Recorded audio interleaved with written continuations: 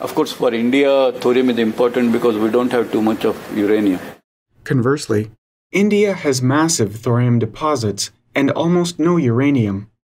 India has been pursuing a solid fuel based thorium breeder since 1950, with steadfast determination of securing energy independence. Most of that time, they've been looking at you know thorium oxide fuels, solid fuels, and they're running the same challenges with solid fuel thorium that everybody does. And I have been told informally uh, through friends of this person that, that one of the former directors of the Indian nuclear program, when asked if you had it all to do again, what would you differently? He said, I would have gone to molten salt right from the beginning. Dr. Sinha and his colleagues think that molten salt breeder reactor, am I quoting you correctly, Sinhaji? I heard you telling me some time back that they think that the molten salt breeder reactor seems to be the most suitable candidate for the self sustainable thorium reactor. What I think is amazing about molten salt technology is the fact that the thorium fuel cycle integrates so cleanly with the technology. The advantage for the molten salt is that, that processing is much simpler and it reduces the fuel cycle costs and makes a breeder uh, a conceivable economic proposition. Liquid fuel enables economic thorium breeding thanks to liquid chemistry and thanks to liquid homogeneity of the fuel. You can use thorium in existing reactors, but the economics aren't there to support it. In addition, liquid fuel's homogeneity can also enable more efficient consumption of uranium as well. With an MSR, those degrees of freedom, that soup, if you will, in a molten liquid state, permits the complete usage of the fissile materials, whether they be thorium or uh, uranium or what have you. So, in principle, you could make a molten salt reactor using pure uranium. There's nothing wrong with that. To compete with thorium breeding levels of efficiency, a uranium fueled reactor would need to overcome some additional challenges. But even the incremental improvements possible by using similar molten salt reactors fueled with uranium would allow us to extract additional energy from our existing stockpiles of spent fuel. Leslie Dewan is co founder and chief science officer of Transatomic Power. She's one of Time's 30 people under 30 changing the world. And so you and a friend, Mark Massie, right after we finished our qualifying exams, we figured that this was the smartest we were going to be for a while. Mark and I started thinking very broadly just about nuclear reactors in general. So we looked at the six types of Gen 4 reactors. We got our inspiration by looking at the molten salt reactor. Our fuel is a liquid. We can leave it in a reactor for as long as it takes to extract essentially all of the remaining energy in it. The commercial regulatory structure in the US is currently set up only for light water reactors the uncertainty in the estimates of the cost and timeline effectively block large scale private investment in new nuclear reactors. Because no, no investor would, would want to put money into a project if they don't have a good sense of when they're going to get a return or how much it'll cost at the beginning.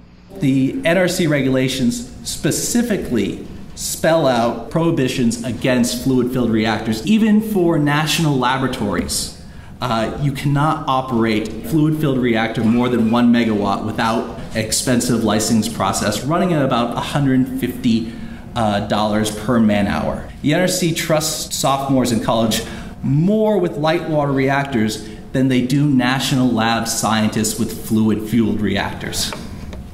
It's been there for ages since Milton Shaw. Yes, Shaw is the one who actually decided that we weren't going to do liquid fueled reactors. He instituted the Catch 22. We can't do work on molten salt reactors because we just don't know enough about how molten salt reactors work.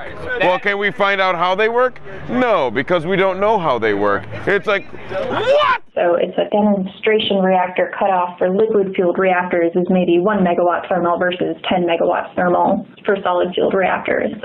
We'd like the demonstration facility to generate meaningful results for a full size plant on the order of 20 megawatts thermal. Any smaller than that, and it really it becomes a different machine. Yeah, but just the, the thermal hydraulics even would be so different that it wouldn't really be a valid comparison. You know, the state of Missouri uh, passed a resolution that they want to be the first state to have thorium molten salt reactors in their state.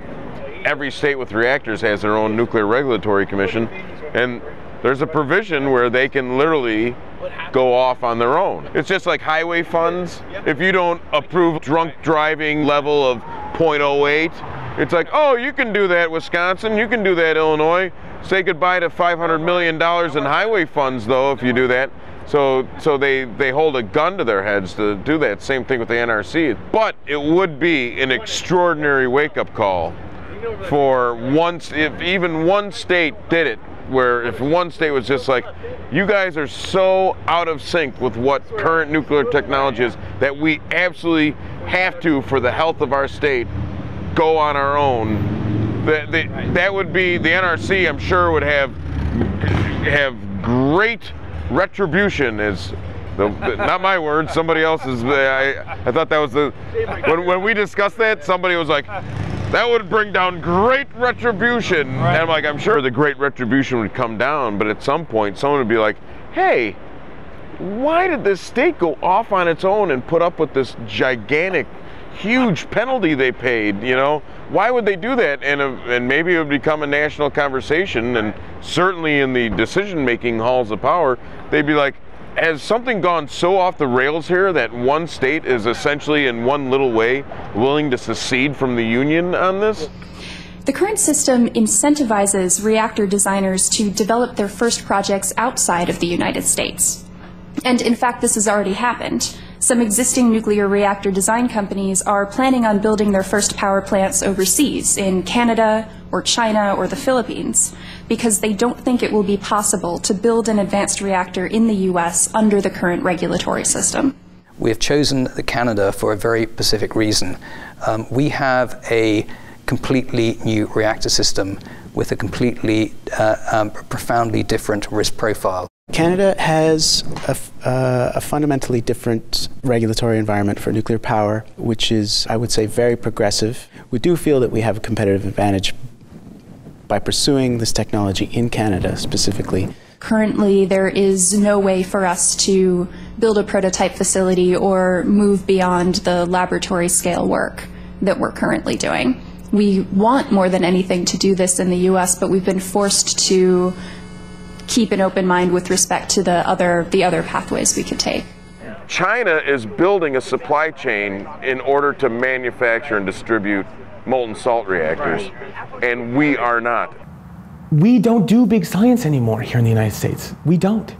China is, India is, the Czech Republic is.